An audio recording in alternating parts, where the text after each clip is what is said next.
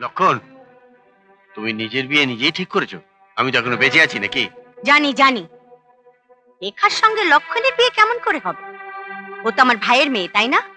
আমার বংশ আমার পরিবার ওর সঙ্গে তো জন্ম জন্মান্তরের শত্রুতা এই দেখো বৌদি আরে রেখার সঙ্গে লক্ষণে বিয়ে হতে পারে না এটা আমি কখন বললাম?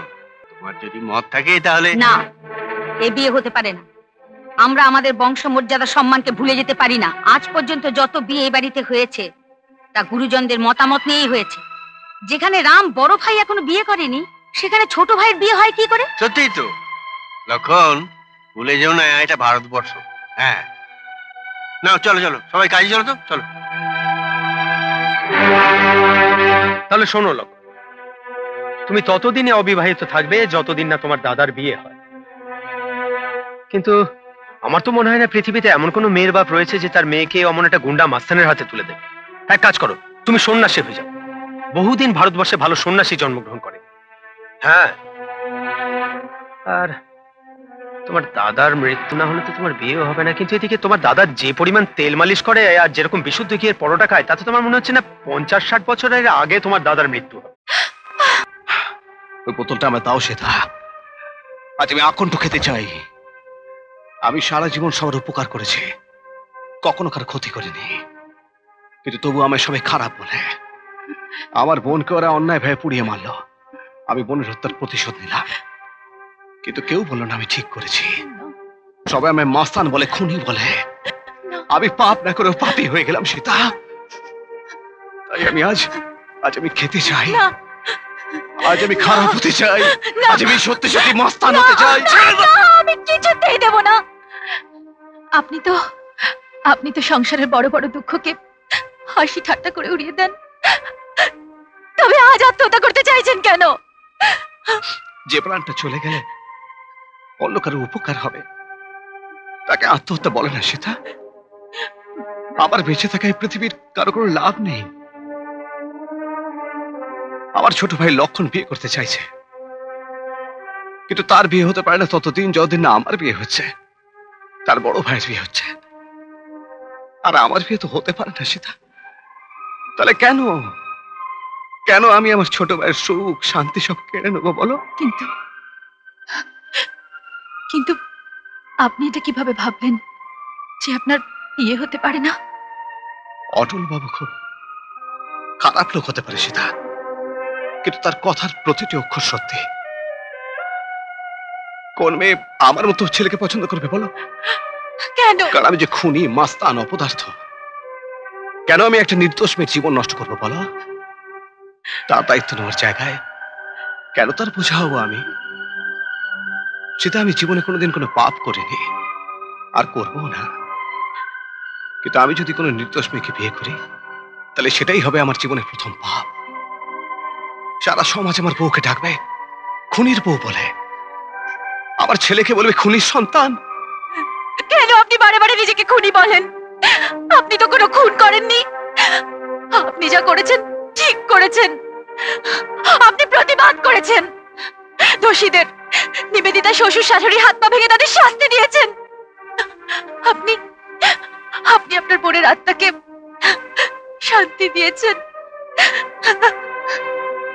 না, সীতা। সত্যি কথা বলতে কি? আমি বিয়ে করব না। আমি বিয়ে করব না, সীতা। তাহলে এটাই কি আপনার শেষ কথা? তাছাড়া আর উপায় কি বলো? তাহলে আমাকে অনুমতি দিন। আমি এখান থেকে চলে যাব। কেন সীতা?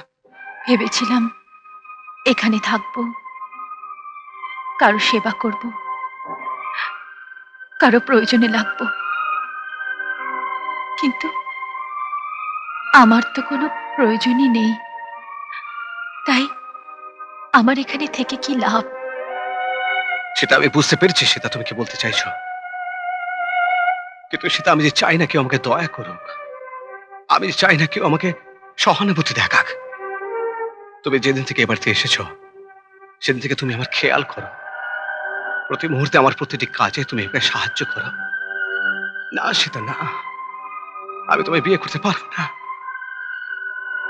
তোমার এই উপকারের জন্য আমি তোমার এত বড় ক্ষতি করতে পারব না।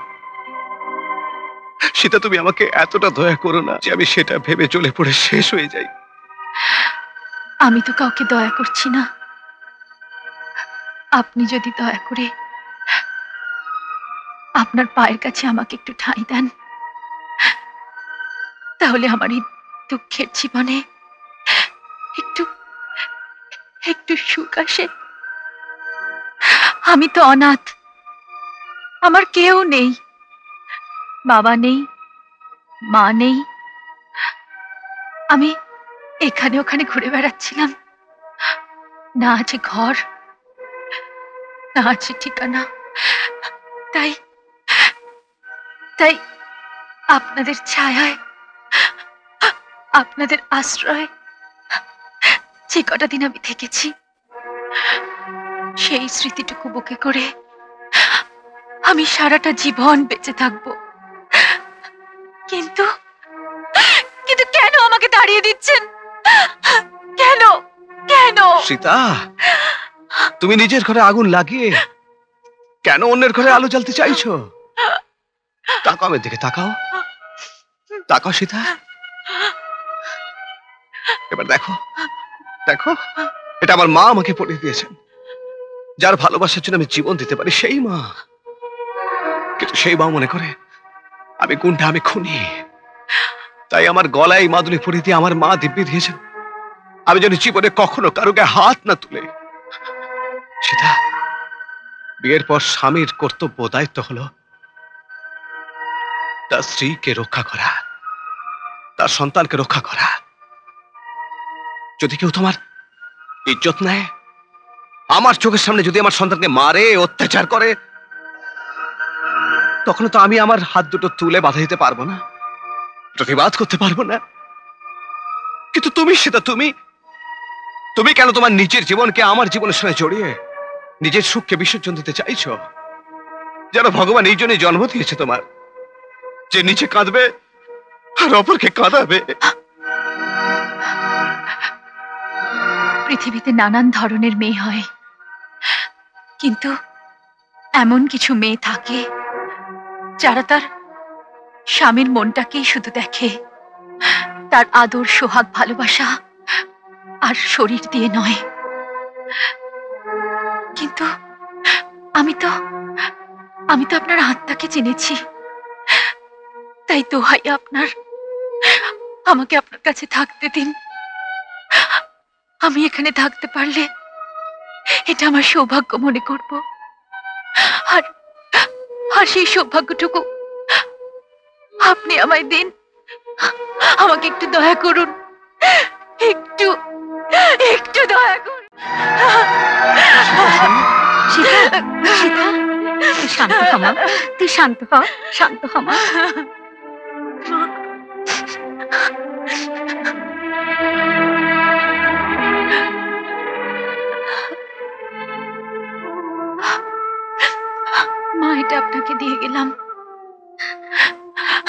দাঁড়াও সীতা। রাম রাম, তুই ওকে স্বীকার করে নে। ওকে যেতে দিস না রে।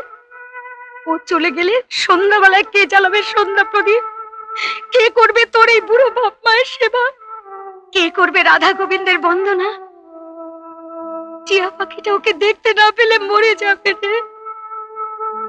আর মঙ্গলা গাইটা দিন রাত জল ভরা চোখে শুধু ওকে খুঁজবে। ওকে থামা।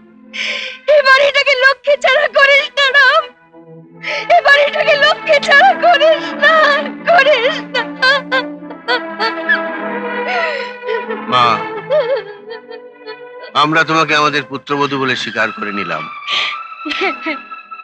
আমার বিশ্বাস, রাম কোনোদিন আমাদের কথার অবাধ্য হবে না। তুমি কিছু ভেবো না, সারদা। রামকে নিশ্চয়ই সিঁদুর পরিবে। নিশ্চয়ই পরিবে। সীতা, চল মা। চল, ঘরে চল। আয় মা, আয়, ঘরে আয়।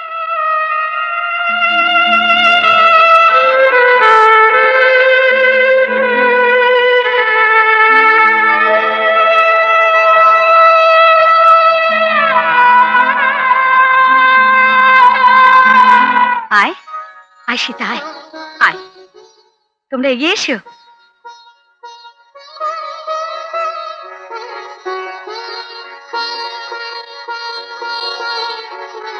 নেরাম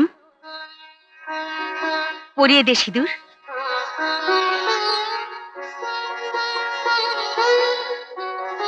দে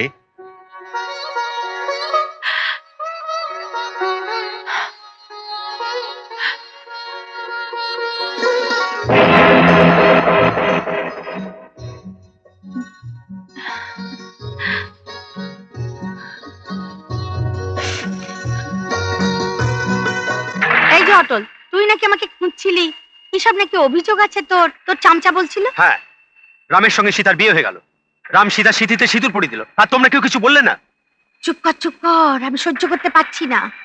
রামের বিয়ে ঝি সীতার সঙ্গে? ছি ছি ছি। রেখা মাই ডিয়ার সিস্টার এই নাও। আমার তরফ থেকে তোমার বিয়ের উপহার আর অভিনন্দন। এটা কি? এটা হচ্ছে আমার বোনের বিয়ের পণ। কারণ বিয়ের পর তো রেখা এ বাড়ি ঝি হবে? এই যে এটা দেখছ এটা দিয়ে রেখা সারা বাড়ি ঝাঁট দিয়ে বেড়াবে। আর এইটার সাহায্যে গোয়াল ঘর থেকে গরু মোষের গোবর পরিষ্কার করে নিয়ে আসবে। দাদা এটা কি ধরনের আর কি এটা ইয়ার কি নয়। কঠিন বাস্তব।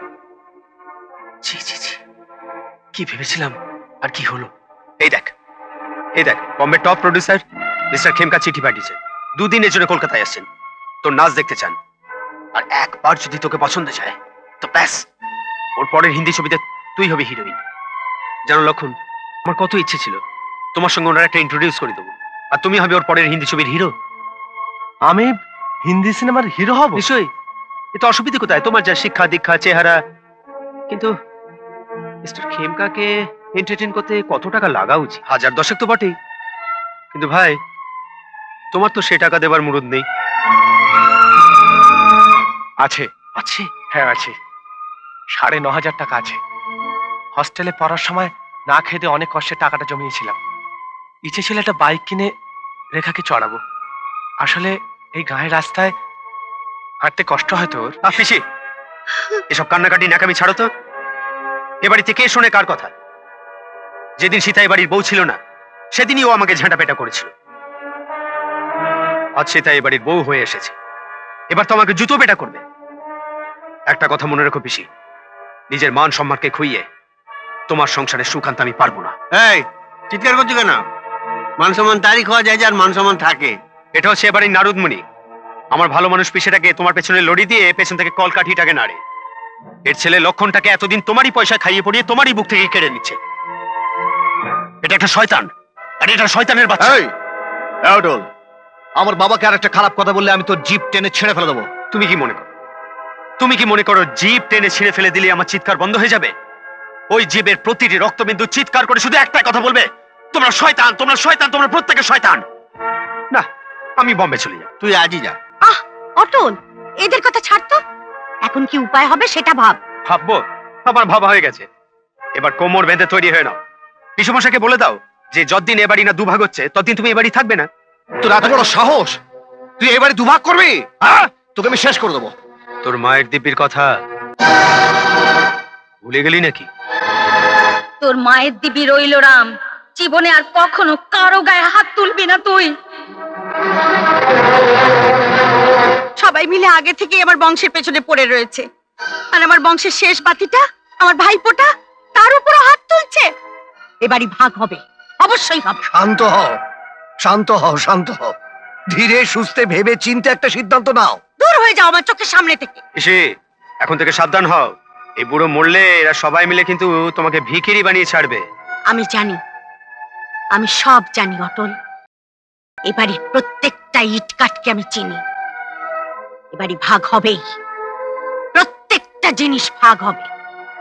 জামা কাপড় বাসন কোসন আনাজপাতি, প্রত্যেকটা জিনিসের আমি ভাগ দেব। এতদিন এতদিন আমি বোকা ছিলাম। আমি অন্ধকারে ছিলাম। তুই তো তুই তো আমার চোখ খুলে দিয়েছিস বাবা। শোনো তোমরা এবারই ভাগ যদি না হয় তাহলে আমি গলায় দড়ি দিয়ে আত্মহত্যা করব। বৌদি ইসে একবার তুমি গলায় দড়ি দাও। তারপর তারপর এদের সবাইকে আমি দেখে নেব। দেখছ কি হাঁ করে? আমি ভয় দেখাচ্ছি না। যা বলেছি তা আমি করে ছাড়বো করো করো তোমার গলায় দড়ি দেওয়া কেউ আটকাচ্ছে না। কিন্তু কিন্তু আমিও বলে রাখছি আমাদের আমাদের ঘর হলো একটা মন্দির একটা মুক্তোর মালা। আমি বেঁচে থাকতে এর একটা মুক্ত আমি ছিঁড়তে দেব না এ মন্দির আমি ভাঙতে দেব না কিছুতেই ভাঙতে দেব না এই বলে রাখলাম। দাদা শোনো। দেখি আমি তুমি কি করে ভাঙতে না দাও হ্যাঁ? এ বাড়ি আমি ভাগ করেই ছাড়বো। বৌদি বৌদি এই ঘর সব তোমার বাপের বাড়ি থেকে পাওয়া। আর ওদিকে ওই- ওই পুরনো বাড়িটা? ওটা তো দাদার রোজগারের টাকায়? আমরা তো সেই উপার্জনের পাহাড়দার মাত্র। ভগবানের দয় বৌদি তুমি সবকিছু নিয়ে নাও। সব তোমার নামে লিখিয়ে নাও। শুধু সংসারটাকে ভাগ করো না বৌদি। আমি আর কারও কথা শুনতে রাজি নই। জীবনে আমি প্রথমবার সিদ্ধান্ত নিয়েছি। সেটা আমি পূরণ করবই। সেটা তুমি কি ভাবছ তুমি চলে গেলে এই সংসারটা আর ভাগ হবে না? হুম? আমি অনেকদিন আগে থাকতেই সংসারটা শেষ হয়ে যাওয়ার একটা ধোঁয়া দেখতে পাচ্ছিলাম। আর কতদিন এভাবে মাটির পুতুল হয়ে বসে থাকবে? শোনো আমি গ্রাম পঞ্চায়েতের সঙ্গে কথা বলেছি। তারা বলেছেন দাদা যদি সত্যি করে বলেন তাহলে তারা ওই ভাগ বাটোয়ারার কাগজপত্র সবকিছু রেডি করে দিতে পারে। মনোরমা মনোরমা তোমার পায়ে পড়ছি আমি। আমাদের এই পরিবারটাকে তুমি ধ্বংস করে দিও না। সারা গাঁ আমাদের এই ভাইদের পবিত্র ভালোবাসার নামে শপথ নেয় তুমি জানো? তুমি সেই ভালোবাসার মালাটাকে ছিঁড়ে ফেলতে চাইছো? মনোরমা মনোরমা, একটা একটা করে খড় দিয়ে যত্ন করে আমরা এই পরিবারটাকে পাখির বাসার মতো করে তৈরি করেছি। দোহাই তোমার দোহাই তোমার তুমি সেই খড়গুলোকে সরিয়ে এই পাখির বাসাটাকে ভেঙে ফেলতে দিও না, মনোরমা। তুমি তো ভাইয়ের ভালোবাসা ধুতির খুঁটে বেঁধে রেখে দিয়েছ। যেখানে ভাগবাটোয়ারায় জগন্নাথ রাজি আছে সেখানে তুমি রাজি হচ্ছ না কেন? জগন্নাথ কিসে রাজি আছে, কিসে রাজি নেই? মনোরমা সেটা আমি ভালো করে জানি।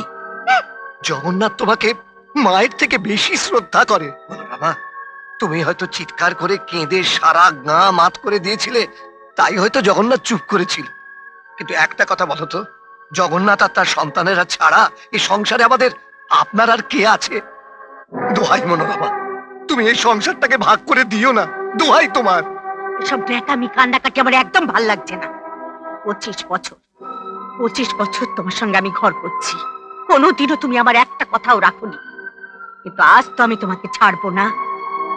আজ যদি তুমি আমার কথা না রাখো, তাহলে আমি আমি আমি গায়ে আগুন দিয়ে পুড়ে মরবো, এই আমি বলে গেলাম। যাও যাও যাও যাও। যার যা ইচ্ছে তাই করো। যা ইচ্ছে তাই করো, নিজের গায়ে আগুন দাও। গোটা সংসারটাতে আগুন লাগিয়ে দাও। গোটা সংসারটা পুড়িয়ে ছারকার করে দাও। দিয়ে দিয়ে নিজের মনটাকে ঠান্ডা করো, মনটাকে ঠান্ডা কিন্তু আমি জানি, আমার ভাই জগন্নাথ, তার দাদাকে কোনোদিনও ভুল বুঝবে না। কোনোদিনও না। ঠাকুর!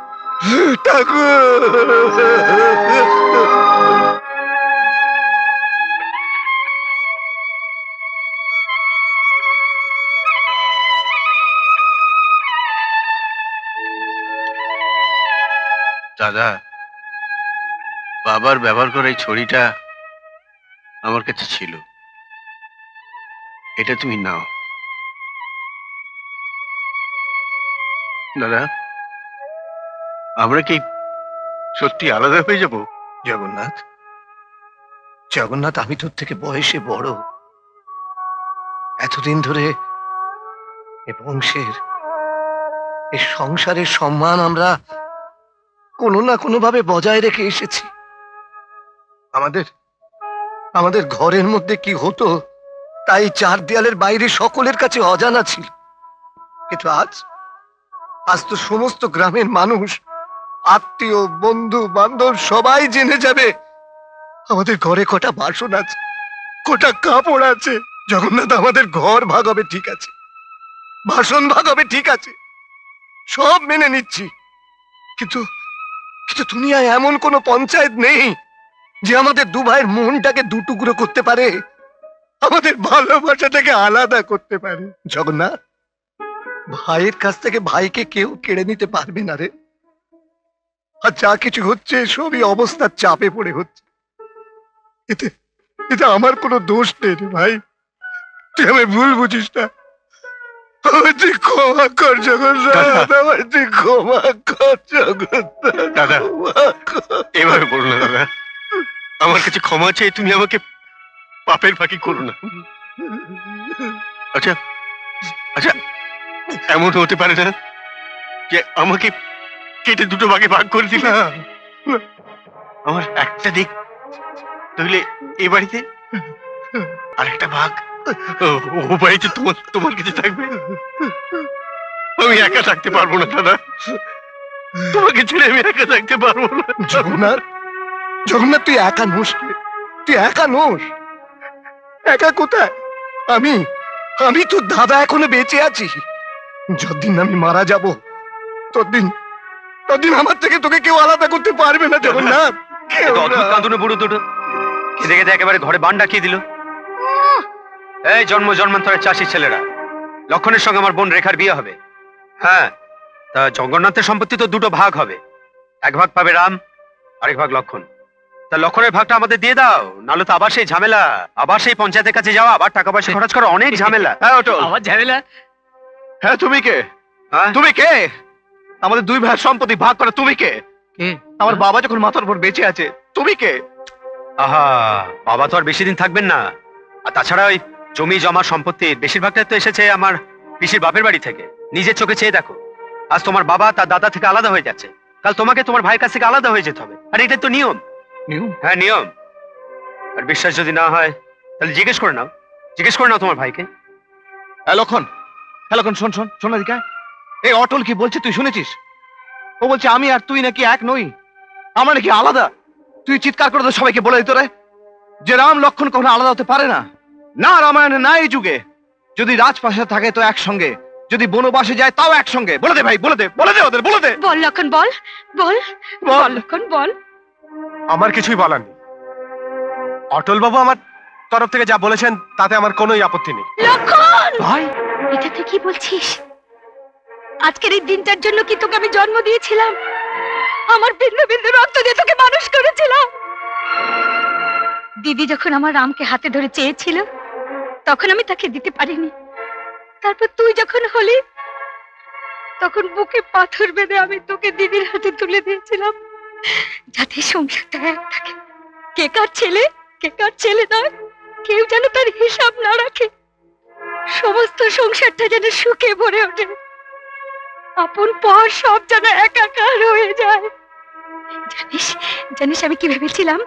রামের লেখাপড়ার টাকা চুরি করে না আমি তোকে লিখিয়ে পড়িয়ে একটা মানুষের মতো মানুষ করে তুলবো। তুই হবে এ সংসারে সবার আশ্রয়। কিন্তু আজ তুই এই শয়তানের কথায় আমাদের ভুলে গেলে। বল বল তুই সম্পত্তি ভাগ করবি? আলাদা থাকবি? ভাগ কর ভাগ কর! নিজের মাকে টুকরো টুকরো করে তুই নিলাম করে দে। তুই নিলাম করে দে। তুই নিলাম। মা, ক্ষমা করে দাও রামের মা। ক্ষমা করে দাও। নিজের ছেলে যখন নিজের থেকে পর হয়ে গেছে, তখন আর দুনিয়াকে তামাশা দেখি কি লাভ বলো? দিয়ে দাও ওর ভাগ করে দাও ওকে আলাদা। লক্ষণ লক্ষণ। জীবনে যেন আমাকে আর তোর মুখ দেখতে না হয়। মশাই। আর একটা কথা। আর একটা কথা লক্ষণ। আমি আমি মরে গেলে আমার মুখে আগুন দেবার কোনো অধিকার তো রইল না। বাবা বাবা আমি আমি মরে গেলে আমার মুখে একটু আগুন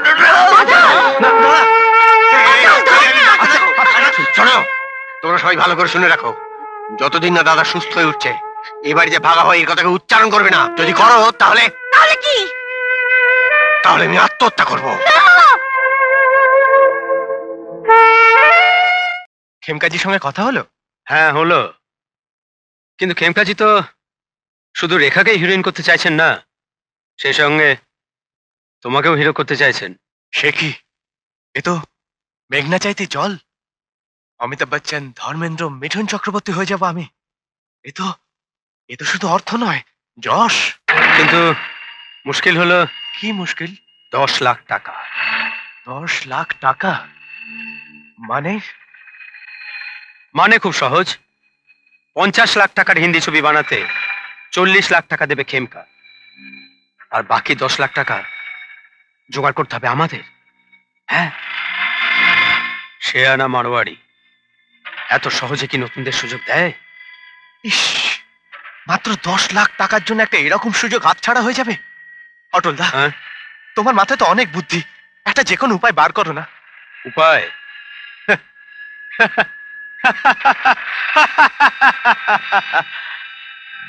ভাই রে আমার নাম কি আর এমনি এমনি অটল? আমি নামে অটল কাজে অটল সিদ্ধান্তে অটল? এমনকি এমনকি ফোন দিতে। আমি আমার ফোন দিতে অটল। তাহলে তাহলে একটা উপায় বার করো অটল দা হ্যাঁ। একটা উপায়।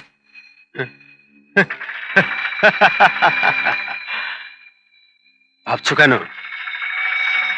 আজ রাতেই তোমার জ্যাঠাইমা শ্রীমতী মনোরমা দেবীকে দিয়ে তার সমস্ত সম্পত্তি একটা স্ট্যাম্প পেপারে সই করিয়ে নাও।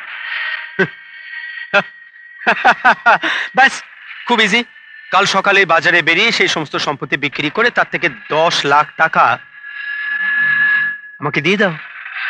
না মানে জ্যাঠাইমা যদি সই করতে রাজি না হন? যদি রাজি না হন পৃথিবী থেকে ছড়িয়ে দাও। খুন? একে বলছো তুমি অটল দা? না না না না আমি কিছুতেই পারব না। বোকামি করো না। কোনো বড় কিছুকে পাওয়ার জন্যে। ছোটখাটো দু একটা অন্যায় করাটা কোনো পাপের নয়। কারও থেকে অন্যায় করে তার সমস্ত বিষয় সম্পত্তি লিখে নেওয়া প্রয়োজনে তাকে খুন করা এটাকে তুমি ছোটখাটো পাপ বলছো? হ্যাঁ ছোটখাটো। তুমি বম্বে সুপারস্টার হতে চাও না? আমার বোন রেখাকে বিয়ে করতে চাও না? লক্ষ লক্ষ টাকা চাই না তোমার? চুপ করে থেকো না স্পিক আউট টাকার দরকার নেই তোমার। হ্যাঁ চাই কিন্তু। এই নাও। এটাকে তোমার পকেটে রাখো। Take it take it that's like a good boy আমার হবু ভগ্নিপতি আর কদিন পরে বম্বে টপ স্টার তা হ্যাঁ গো আমার মতো এরম অভাগা শালাকে মনে থাকবে তো? রেখা রেখা জানো তোমাকে না হিরোইন আর আমাকে হিরো হিসেবে সিলেক্ট করেছে ওরা। ওয়াও এটা দারুণ নিউজ তাহলে চলো দাদা এক্ষুনি কি পিসিমাকে খবরটা দিয়ে আসি। আরে দাঁড়া দাঁড়া তুই তো একেবারে আনন্দে নেচে উঠলি। আমার আমার আবার কিরম সবকিছু গোলমাল হয়ে যাবে। হ্যাঁ মিস্টার খেমকা মিস্টার খেমকা একবার তোর সঙ্গে আলাদা পাঁচ মিনিট কথা বলতে চান। তুই একটা কাজ কর না তুই মিস্টার খেমকার চারশো কুড়ি নম্বর ঘরে একবার চলে যা। কিন্তু দাদা আমি একা আহা চামচেটাকে আমি এখানে রেখে যাচ্ছি। আর তাছাড়া খেমখা সাহেব বলেছেন নিজের গাড়ি করে তোকে এখানে পৌঁছে দেবে। আমি আর লক্ষণ এগোচ্ছি দেখিস লোকটাকে যেন চটিয়ে দিস না। তাহলে আমাদের সব প্ল্যান ভেস্তে যাবে। চলো লক্ষণ চলো এসো। দিদি। দিদি আমি জীবনে অনেক অন্যায় করেছি। অনেক পাপ করেছি। অটল বাবু নুন খেয়েছে তাই তার সঙ্গী হয়েছে। আহ কি বলবে তাড়াতাড়ি বলো না। শুনলেন আমাকে খেমকা সাহেবের কাছে যেতে হবে? বলছি দিদি বলছি। আপনার দাদা আজকে রাতের জন্য আপনাকে ওই মারোয়ারির কাছে বিক্রি করে দিয়েছে। সে কি? না না এ আমি বিশ্বাস করি না। দিদি দিদি আমরা পায়ে পড়ি। আপনি বিশ্বাস করুন আমি এক বর্ণ মিথ্যে বলছি না। দিদি আমার কথা না শুনলে আপনার সর্বনাশ হবে। ছি ছি আমার দাদার লক্ষণ এত নিচ। এত ছোট? বেশ। তাই যদি হয় চামচা ভাই হ্যাঁ। তুমি কি রামদাকে খবর দাও? আর আপনি? আমি ঠিক সময় ঠিক জায়গায় পৌঁছে যাব। এখানে সই করো পিসিমা। সই তোমায় করতেই হবে। নইলে চাপকে তোমায় সিধে করে দেবো। বাবা অটল। এই দিনটার জন্যই আমি এত বছর বেঁচে আছি বাবা। দুধ কলা দিয়ে কাল সাপ পুষেছিলে পিসিমা।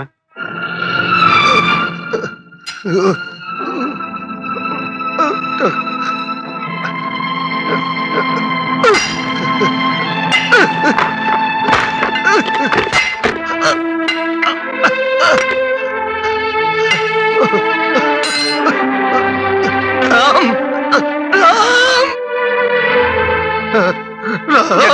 রাম। তো রাতে এই অবস্থা তুমি এখানে? জেঠিমাকে বাঁচা কেন কি হয়েছে জেঠিমার? কথা বলার সময় নেই। শিগগিরই চলুন না না হলে একেবারে সর্বনাশ হয়ে যাবে। ওই অটল সাহেব আর লক্ষণ বাবু দুজনে মিলে বড় মাকে দিয়ে সব সম্পত্তি লিখে নিচ্ছে। সে কি? কিন্তু জেঠিমা ওদের কথা সই করবেন কেন? মনোরমার কপালে পিস্তল ধরে আছে। আমি মরে গেলেও সই করব না। লক্ষণ চালাও গুলি। সীতা মা আমাকে দেখো জ্যাঠামণিকে দেখো। এই চামচা আয় আয় চলুন। তাড়াতাড়ি চলুন। এলাম। কাজ ভেবে হিরেটাকে আমি ছুঁড়ে ফেলে দিয়েছি। রামকে আমি ভুল বুঝেছি আমি ভুল চুপ বুঝেছি করো চিৎকার করো না। হ্যাঁ কুইক ফাস্ট কাম অন সই করবি কিনা বল। সই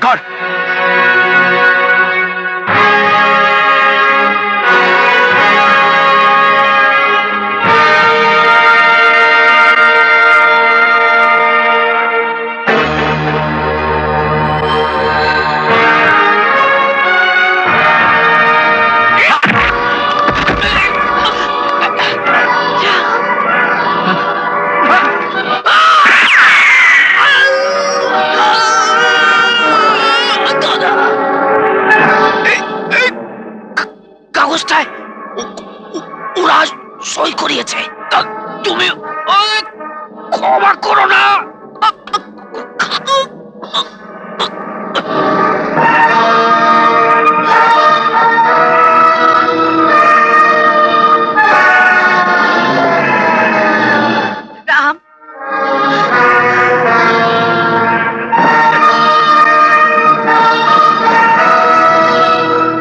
আমায় আমায় কাগজটা দিয়ে দাও। দিয়ে দাও তো দাও কাগজটা দিয়ে দাও। না লক্ষণ যদি আমার জীবন যায় যাবে কিন্তু এই কাগজ তোরা কেউ পাবি না।